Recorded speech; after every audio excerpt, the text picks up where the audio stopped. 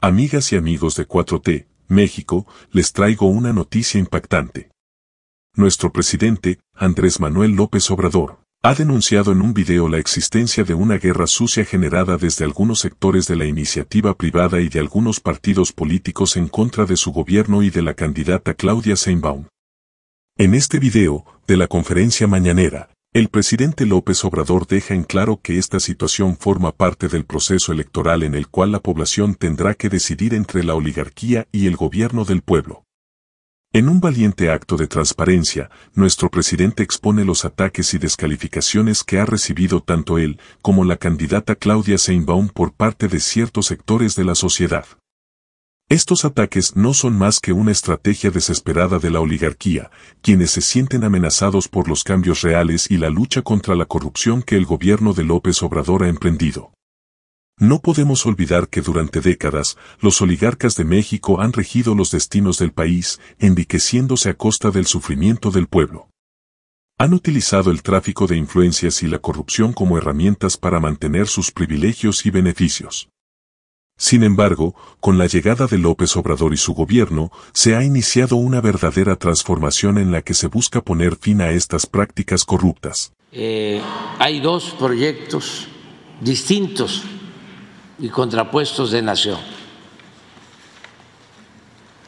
Y esto lleva a que haya definiciones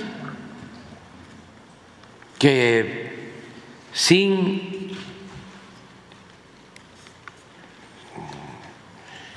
simulación, de manera sincera,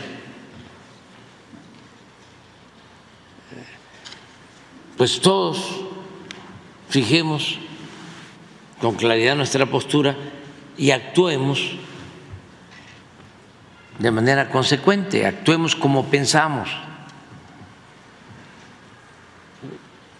Siempre que hay una transformación, son tiempos de definiciones. Y ahora estamos viviendo un proceso de transformación. Y no hay para dónde hacerse.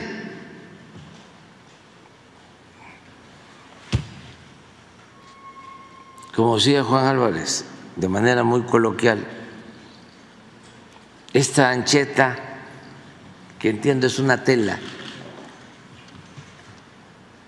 es tan angosta que no hay ni para dónde hacerse. O sea, ya no se puede simular, no hay cabida para la indefinición. Aunque no debe de haber maniqueísmo, en estos tiempos es muy difícil eh, la moderación en lo político. Es muy difícil eh,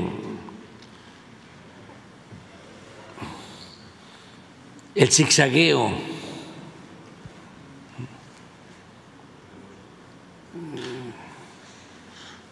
eh, el actuar en el centro, mm, actuar de manera gelatinosa.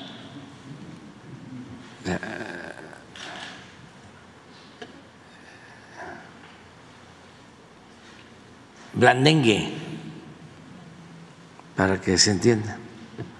Son tiempos de anclarnos en nuestros ideales y en nuestros principios. Es comprensible que la oligarquía se sienta amenazada y desate una guerra sucia en contra del presidente y de su candidata. Quieren regresar al poder para seguir saqueando al país y disfrutando de los privilegios de los que gozaban. Pero nosotros, el pueblo, no podemos permitirlo.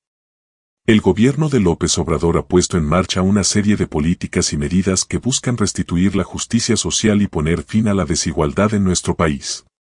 La creación de programas sociales, el combate a la corrupción y la promoción de la participación ciudadana son solo algunas de las acciones que se han llevado a cabo en estos primeros años de gobierno. Es momento de tomar una decisión informada y reflexionada en las próximas elecciones. No podemos permitir que la oligarquía recupere el poder y continúe saqueando a nuestra nación. Debemos seguir apoyando al presidente López Obrador en su lucha por un México más justo y equitativo. Amigas y amigos, es básico que estemos informados y reflexionemos sobre estas acciones que buscan desestabilizar el gobierno y mantener los privilegios de unos pocos. Sigamos respaldando al presidente en su búsqueda de un México mejor para todas y todos. Recuerden, su participación es fundamental. No olviden dar like, compartir y suscribirse para seguir informados de todas las noticias. Hasta la próxima, amigos y amigas de 4T, México.